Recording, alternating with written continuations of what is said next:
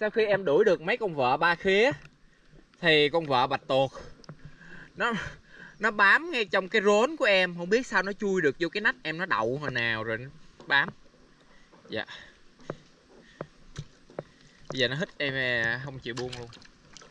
Thì à, mấy cái con vợ này mệt quá luôn rồi. Rồi cái con vợ cái gái cá tì tì đâu rồi? Trời ơi, tụi nó đi đâu hết trơn rồi? Còn mấy con vợ chó cá nữa Tụi con ngồi đó luôn hén chị Chi chị Chi chị Chi Where are you?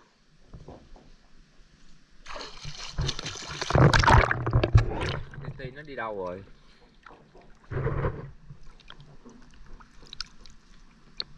Nữa Sao cứ bám vô người anh hoài vậy bé? Anh cứu bé rồi. Bé đi. Bé đừng cảm ơn anh. Cảm ơn khổng thục hiền. Nha. Gia đình đó ủng hộ anh cứu bé đó. Và hôm nay anh tình cờ anh gặp được bé Thì anh thả bé về tự nhiên. Bây giờ anh phải kiếm con vợ rái cá ti ti, cái đã, Nó đi đâu rồi? Bé cứ đu anh hoài. À Cái thằng kia nó xuất hiện rồi nó mọi người.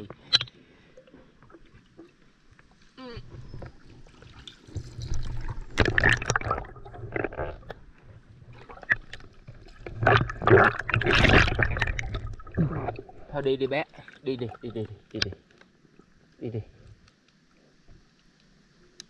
Giờ nó đu em mà kiểu giống như nó cưng em vậy đó. Bình thường là nó sẽ búng bỏ chạy, Còn con này nó cứ đu đu đu đu lên người. Ôi ơi Dạ thằng này nó cũng tội lắm nha. Nó sợ người quá rồi. Bị cắn đứt hết hai cái sợi râu rồi. Đi đi con. Đi đi. Thôi đi đi. Chia tay.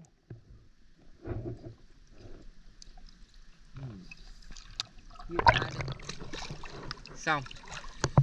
Và tuột đứt rau vẫn mọc lại được nha. Dạ người đứt chân mọc lại được không ạ? Suy nghĩ trước khi trả lời nha. Được luôn, chân giả.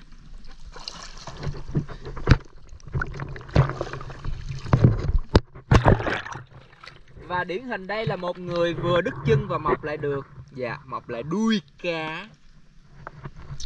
Chính là em Chàng cá Sau khi rụng chân mọc đuôi Hồi nữa là rụng đuôi và mọc chân.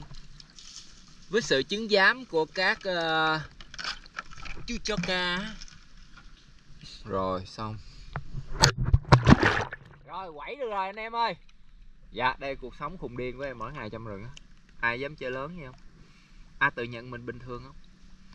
Ai tự nhận mình bình thường á thì à, đừng bắt trước em nha nguy hiểm nha. Dạ. Ây da. Chi chi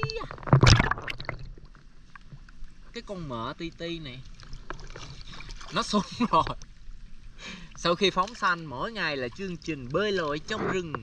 Đây là hồ bơi của em dài từ đây tới kia đằng kia có mấy chim bó cá đang bắt cá. Dạ.